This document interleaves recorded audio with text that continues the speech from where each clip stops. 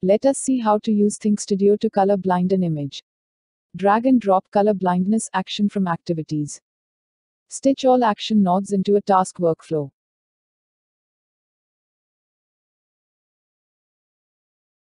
Set input image property of color blindness action.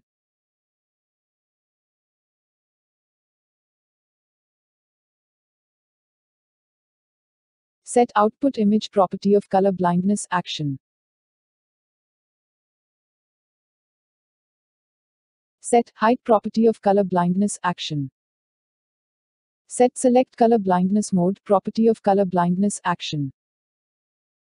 Set width property of color blindness action. Set X property of color blindness action.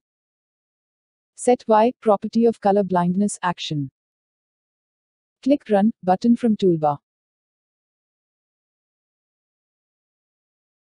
You can see the task is executed successfully.